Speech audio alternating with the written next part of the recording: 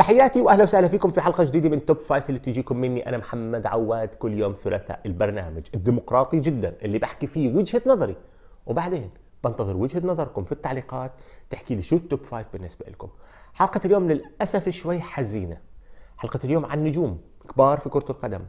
كانوا يأخذوا رواتب عالية وشهرة عالية وما عرفوا يستفيدوا منها. فانتهى فيهم الموضوع بالإفلاس. ولعله أشهر واحد فيهم بلا منازع دييغو مارادونا.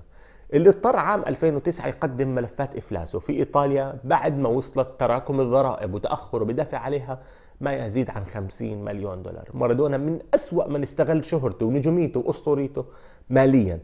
الرجل خرج بلا استثمارات حقيقية الرجل عاش كثير أكثر على معونات الناس الكبار والأثرياء اللي حبوا مارادونا وعرفوا مارادونا حتى يومنا هذا. مارادونا دخل بمشاكل مالية كثير أكبر بسبب إدمان كحول إدمان مخدرات وحتى مشاكل شخصية للغاية.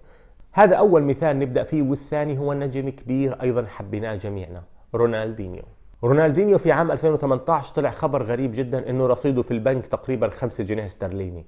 إيه، رونالدينيو اللي تبين انه عليه ديون تقارب 3 مليون دولار مش قادر يدفعها. رونالدينيو اللي لما دخل السجن في البرغواي ما كان معاه يدفع كفالة خروجه. رونالدينيو نجم كان ساحر كبير لكن أيضا حياته الطائشة عدم تركيزه في المستقبل ما خلاه يبني كثير لما بعد مسيرته الكروية وخلاه بالتأكيد ضمن قائمة النجوم الأشهر اللي دخلوا بدائرة الإفلاس رغم أنه رونالدينيو للتوضيح ما قدم أوراق إفلاس قانونية لكن رونالدينيو بشكل عام لاعب وصل حد الإفلاس وحد الديون وحد الانكسار ومحتاج وقت كثير تيتعافى. أما اللاعب الثالث فهو براد فريدل الحارس المشهور جدا في البريمير ليج. هذا اللاعب من المفلسين بطريقة كويسة لأنه بنى أكاديمية وقال بدي أعلم الناس مجانا. ومصاريف هذه الأكاديمية كان يراهن يجيب رعاة وكذا يدفعوا على المصاريف لكن الرعاة ما إجوا وما دفعوا. كان فاتحها ب 2011 فالناس ترددت تستثمر فيها ونتيجة ذلك اضطر يوصل لديون في 10 مليون دولار وأكثر.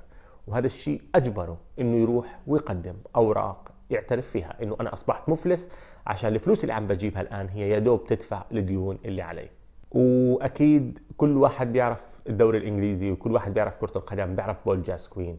أسطورة من أساطير المنتخب الإنجليزي أحد أفضل المواهب اللي قدمتها إنجلترا في العصر الحديث إن لم يكن أفضلها بالنسبة لأكثر الناس.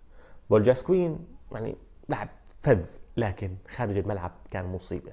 خارج الملعب تورط في إدمان مخدرات تورط في إدمان كحول. هذا وصله أنه يصير عليه ما يزيد عن 400 ألف جنيه استرليني ضرائب مش قادر يدفعها مجموعة ديون هائلة مش قادر يدفعها. هذا وصله إنه يقدم طلب الإفلاس مرتين. هذا وصله أيضا إنه يظهر كهوملس متشرد في الشوارع لفترات طويلة. من أسطورة كرة قدم للاعب يبحث عن مكان ينام فيه. أما اللاعب اللي قصته مأساوية جدا في التحول من لاعب مليونير إلى لاعب مفلس فهو إيمانويل إيبوي.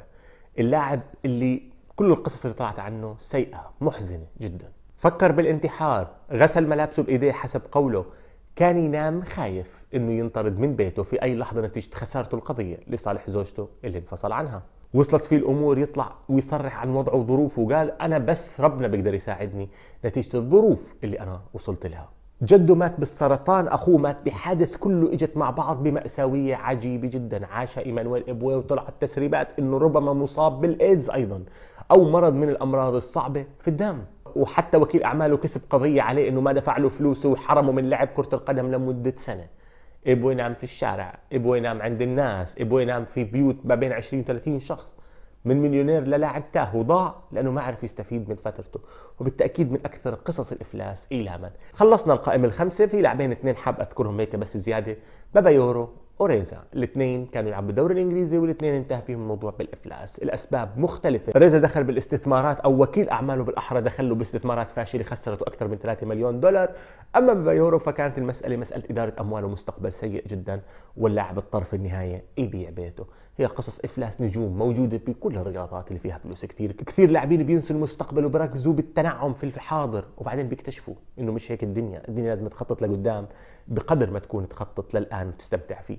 هي هذه القصة بالنسبة لكم. احكوا لي أسماء لاعبين بتشعروا أنهم أفلسوا أو بتعرفوا أنهم أفلسوا في التعليقات